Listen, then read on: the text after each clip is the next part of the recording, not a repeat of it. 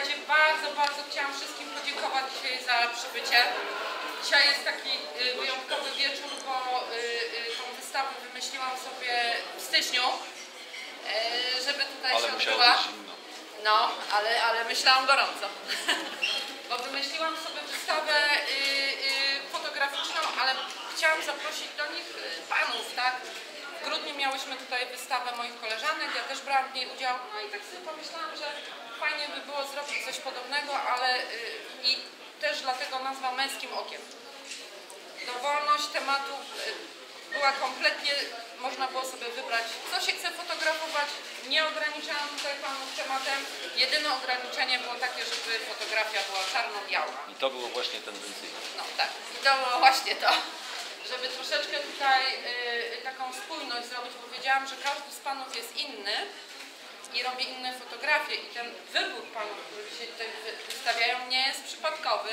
Ja to sobie wszystko przemyślałam, bo właśnie chciałam, żeby pokazać troszeczkę to y, z różnych stron. Każdy z nich, ja, ja znam tych wszystkich czterech panów dosyć dobrze i wiedziałam, że oni mają y, różne spojrzenie y, na świat i, i dlatego troszeczkę tak mi się wydaje, że, że jest ciekawie. Pomyślałam sobie, że nie będę tutaj każdego po kolei przedstawiać, bo życiorysy można sobie przeczytać, dokonania tych panów można sobie przeczytać. Ja bym tak prosiła, żeby każdy z tych panów chociaż chwileczkę powiedział, dlaczego fotografuje i dlaczego na przykład te zdjęcia nie inne. Okej? Cezary A dlaczego ja? Bo tak stoję.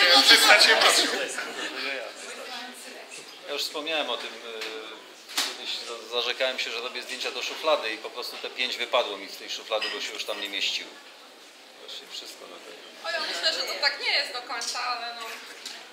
To trudne pytanie, to pytanie też jest tendencyjne. Ja, Dlaczego? ja chciałam Was trochę zaskoczyć tym, właśnie nie, nie, nie uprzedzałam, nie chciałam, żeby, żeby, żeby tak każdy już sobie wymyślił jakąś historię. Na pytanie, na pytanie dlaczego fotografuję, nie wiem jak, jak koledzy, ale ja nie umiem odpowiedzieć, to pewnie musiałbym się poddać jakiejś, jakiemuś y, sprawdzeniu przez y, specjalistę spraw medycznych. Być może jest taka jednostka chorobowa na to, ale jest to jakaś niecierpliwość y, w dłoni, w oku. Tak się czasami coś uda sfotografować, coś zauważyć. y, To jest duża frajda przede wszystkim. To jest naprawdę wielka frajda. Ci, którzy to mają, to wiedzą o czym mówię. A ci, którzy nie mają, to niech pozyskają. Bardzo. Ciekawy eksperyment moim zdaniem. No, czterech facetów i cztery zupełnie inne spojrzenia przez obiektyw na świat i to jest e, bardzo fajne. I to w czasach, kiedy znaczenie fotografii zmienia się radykalnie, dlatego że dzisiaj fotografia służy do czegoś innego niż kiedyś. Dzisiaj cały czas rejestrujemy nasze życie, e, pokazujemy kim się, z kim się spotykamy, co robimy, gdzie wyjeżdżamy, co jemy i to wszystko wrzucamy na Facebooka czy Instagrama. I tak dzisiaj wygląda e, fotografia, jest olbrzymia nadprodukcja zdjęć.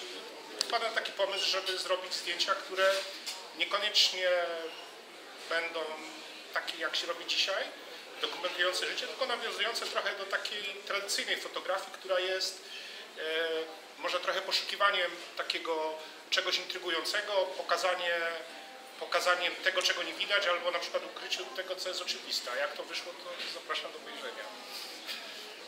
Proszę. I czy w ogóle wyszło? Panie Michale, Michał proszę. Dla mnie, dla mnie fotografia to zatrzymanie czasu, to taki swoisty punkt czasu, do którego możemy za chwilę zajrzeć i, a, i spojrzeć na to, co już dawno minęło. A, ten decydujący moment, który według Cartiera Bressona przy robieniu zdjęć jest najważniejszy, myślę, że dla każdego z nas jest najważniejszy, bo jak bierzemy aparat do ręki, to narzędzie naciskamy z, spust migawki, e, to w tym decydującym momencie zatrzymujemy na chwilę czas. Przez to stajemy się jakimś takim podróżnikiem w czasie, a dzięki temu medium możemy się do tego minionego czasu cofnąć. Dla mnie to jest właśnie najważniejsze.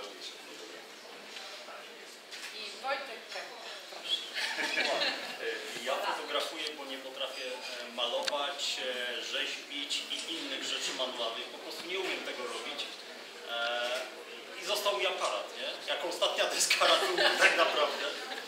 E, robię zdjęcia codziennie. Staram się zauważyć coś e, interesującego mnie. E, niektórzy moi znajomi dostają te moje wypociny regularnie. Ja bardzo. no, i, no i dlatego fotografuję. Jest to moje spojrzenie na świat. Na, na, na, naprawdę chciałam e, tutaj e, Cezary Janiszewski, Janusz Jurek, e, Michał Tłusz i Wojciech Karta. Chciałam Wam bardzo podziękować, że w ogóle zgodziliście się na to. Bo ja sobie czasami bzduram jakieś tam projekty i, i sobie już wymyślam i czasami nie wiadomo jak to wyjdzie, ale, ale ja jestem z rezultatu zadowolona. E, oczywiście chciałam też Szymonowi e, podziękować e, tutaj przedstawicielu przedstawiciel klubu Staraczy Połownia, bo generalnie te wystawy są robione y, z stowarzyszenia z inicjatywą i, i mamy też granty z miasta, także dzięki temu to, to wszystko jest możliwe. Chciałam też podziękować restauracji Bombardini za to, że przygotowała y, piękny catering i dobry na pewno już próbowałam. I Romie chciałam podziękować Czuraszek za to, że taką ładną tutaj florystyczną otoczkę zrobiła, kwiaty jej pomysły tutaj. No i w ogóle naprawdę wszystkim bardzo dziękuję za przybycie.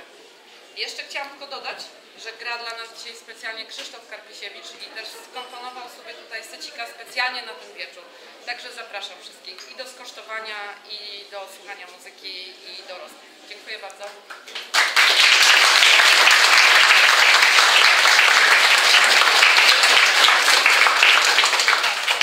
A my jak czterej muszkieterowie dziękujemy gości za zaproszenie. Ja wam, ja, ja bardzo dziękuję.